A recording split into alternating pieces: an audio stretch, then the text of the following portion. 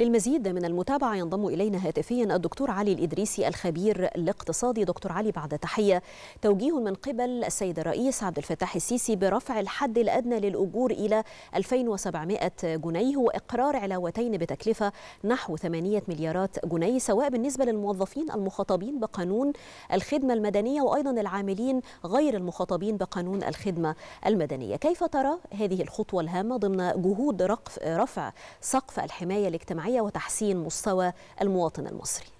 بسم الله الرحمن الرحيم تحياتي حضرتك وكل السادة المشاهدين الكرام. خلينا نقول طبعا إن القرارات بتيجي في وقت مهم جدا.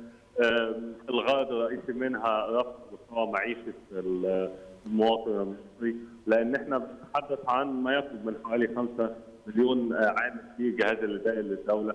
نسبة كبيرة منهم لما يحصل تحسن في منظومة الاجور الخاصة بهم اللي هم لا يطلق عليهم محدود الدخل أكيد ده هيساهم بشكل كبير في تحسين لمستوى المعيشة وجزء مهم جدا من الحماية الاجتماعية اللي الدولة بتأكد عليها في التحسن الملحوظ على مستوى منظومة الأجور مش من العام الحالي فقط ولكن إحنا تابعنا يمكن على مدار السبع سنوات الماضية إزاي منظومة الأجور حصل فيها يمكن تحسن بشكل ملحوظ عام على الآخر وارتفاعات شديدة جدا بتحصل فيها، إزاي كمان إن الاهتمام دوت وصل إلى قطاعين مهمين جدا قطاعي التعليم والصحة.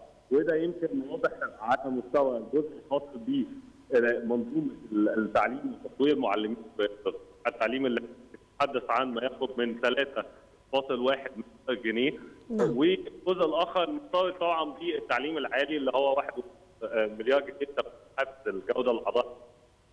الجزء الآخر مرتبط بقطاع الصحه بالنسبة بقى لتخصصات طب الأسنان العلاج الطبيعي والتمريض اللي يمكن كمان بعد استهدف بشكل كبير صار الامتيازات فيهم وكانت نقطة مهمه جدا إزاي بتركز بشكل واضح على تحسين هذه المنظومة الخاصة بالامور بالتالي هتبقى في الموازنة الخاصة بالعام الخاص هتبقى موازنتها ما يقرب من حوالي 400 مليار جنيه زيادة ما يقرب من 39 مليار جنيه عن العام المالي الحالي. وبالتالي الدولة بتحاول بشكل كبير إن هي تستمر في تحسين المنظومة نعم. أيضا بالإضافة إلى ما ذكرته دكتور علي تم تخصيص واحد ونصف مليار جنيه لتمويل حافز الجودة الإضافي لأعضاء هيئة التدريس ومعاونيهم وتمويل قانون مرتبات الأساتذة المتفرغين. قراءتك أيضا لذلك تطبيقا لأبعاد التنمية الشاملة في إطار السعي للارتقاء بجودة التعليم مثل ما ذكرت وذلك من خلال المخصصات المالية بشكل خاص.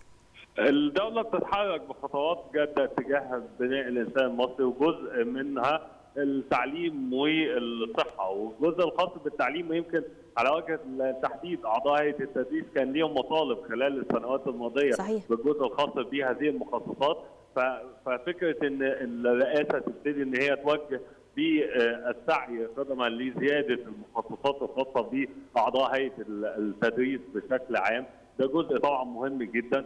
وإزاي إن إحنا بنستكمل منظومة التعليم بشكل عام؟ يعني بمعنى سواء على مستوى التعليم الأساسي أو التعليم العالي الدولة بتحاول إن هي تحسن من منظومة الاجور بالنسبة للعاملين في هذا القطاع الأساسي والاستراتيجي بالنسبة للدولة. وفي نفس الوقت يبتدي إن هو كمان يتوفر لهم الحماية الاجتماعية المطلوبة.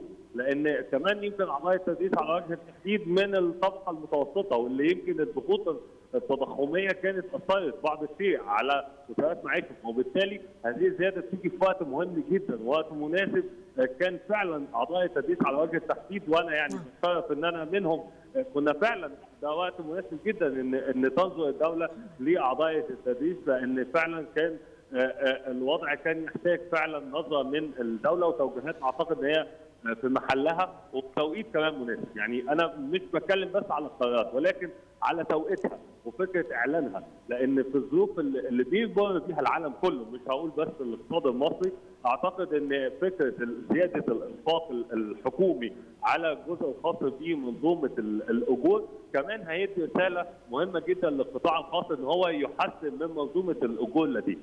نعم. أشكرك جزيل الشكر دكتور علي الإدريسي الخبير. الاقتصادي شكرا جزيلا على هذه المشاركة.